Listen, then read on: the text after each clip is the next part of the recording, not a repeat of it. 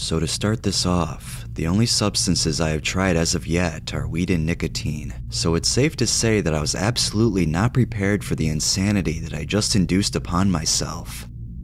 So, to set the scene, I'm an 18 year old male in my bedroom with absolutely nothing to do, as my cart had just run dry and none of my friends had anything. So, I decided to do a little experiment and take 30 milligrams of Zyrtec, three pills that I had lying around, as in the past I've gotten decently buzzed off of it due to its ability to induce drowsiness. It's one of the safest antihistamines that you can take recreationally, as there are no reported cases of fatal overdoses or long term side effects in adults as of now. I should warn you though, if you plan on taking the substance, I strongly advise against doing so if you have anything to do the day after, as my experience will demonstrate. So I pop the pills and play a little Modern Warfare 2 until I start to get the memory of a goldfish. I was on a voice call with my girlfriend and would forget what I was talking about mid sentence and would do things I wouldn't even remember, such as plugging my headphones into the wrong controller or eating an entire bag of jalapeno potato chips without even realizing it. It was actually a very pleasant experience as it causes a warm and fuzzy feeling in the body and creates a very nice head high and can very easily put you to sleep. I have a pretty nice night chatting with my girlfriend and watching Let's Plays on YouTube, and three hours pass by at a snail's pace. Seriously, this shit will make one minute feel like 20. Anyways, after the three hours pass, I decide to pop two more and enjoy the sunrise. Big fucking mistake. Now we get to the part where I'm going to have a lot of difficulty accurately describing the events that took place, as Zyrtec at this high of a dose, combined with sleep, can produce extremely vivid dreams that feel as though they go on for hours or even days, and images and ideas bleed into each other seamlessly to the point where it could feel as though you've been awake this entire time, even though you're completely unconscious. If my memory serves me right, I fell asleep at about 7 o'clock in the morning, and my trip of a lifetime began. I had recurring dreams of having to go to school, even though school starts in a week, a fact that was also brought up multiple times in the trip, furthering my confusion. I had a dream where I had to go into this greenhouse where ingredients were stored to make something. I had no fucking clue what was going on. The greenhouse was very narrow and was packed with students who were all clamoring over each other to grab these ingredients.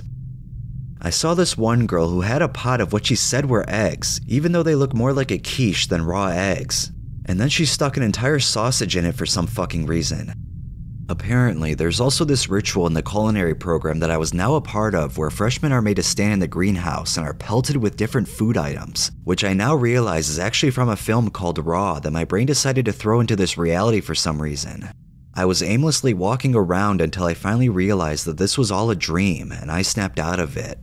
The thing was, I actually didn't snap out of it, as now I was in a brand new reality, one where I still took the Zyrtec and knew that I was fucking tripping balls, but didn't know that everything was all being conjured in my unconscious mind. In this reality, I was talking with my girlfriend and asking her what I should do, as I was freaking the fuck out and had no clue what to do to make this trip end. She tried to comfort me until I decided to go downstairs to stock up on some snacks. My room is on the top floor of my house. I knew that it was early in the morning and my dad was about to go to work, so I prayed to God that he wouldn't be down there. But lo and behold, there he was. He immediately hugged me, and then I made my way down to the kitchen without making eye contact so he wouldn't know I was tripping balls. But then, standing in the kitchen was my mom, and then all four of my siblings come flooding into the kitchen along with my dad, and I start to freak the fuck out. I try to remain calm and just look around for food, but then my dad starts berating me and telling me that I need to get my driver's license and join the army. That part sounded weird to me because my whole family knew that I would never join the military, and that helped me to realize that this too was a false reality. So I went back up to my room and then I think I woke up in real life. What made me realize I was really fucked up was that I could barely tell that I was actually awake. It was the highest I had ever been, and I had been very fucking high before, and it was on allergy meds that I've taken all my life. In another reality, I was also back in school, but now I was taking these art classes that were in the basement of one of the buildings, and all we did was sit at these desks until the professor told us we could leave. But as I was leaving, all hell broke loose. As I walked out, the campus was attacked by various Mortal Kombat and DC characters, I shit you not. So as you can imagine, I'm freaked the fuck out and try to hide when some event that I can't remember happens, and Harley Quinn is after me and trying to kill me. I get cornered and start fighting her, and she injects me with Joker toxin before some guy who kinda looks like Spawn stabbed himself in the throat for no fucking reason. I rushed over to him to try to stop the bleeding, and suddenly I was awake again. I texted my girlfriend and told her I was completely fucked up and fell back asleep. Keep in mind, at this point, I have been tripping for about 18 hours. Throughout this whole experience, I felt as though my sense of self and my very notion of what reality was was slipping away and fading into a kaleidoscope of different realities. I was forgetting what it was like to be normal, and it felt like I was going to have a fucking panic attack at various points because of how stressful the experience got at some points. What got me through this was the voice of the YouTuber Psyched Substance telling me not to let go of my ego and let myself flow through the experience, and the reoccurrence of the Beatles throughout these various realities. I'm a huge Beatles fan, I know, how original, and the band kept popping up in various places.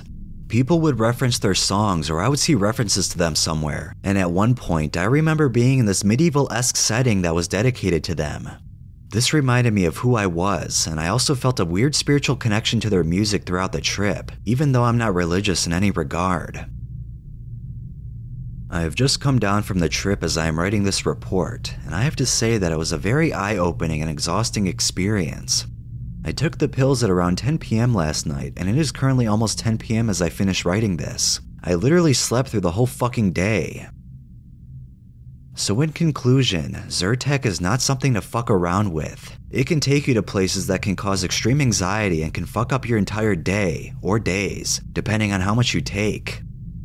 If you plan on taking any recreationally, probably just take one or two to get a nice buzz, but don't take any more unless you're ready to spend days living out the plot of Shark Boy and Lava Girl. Thank you for listening, and peace out.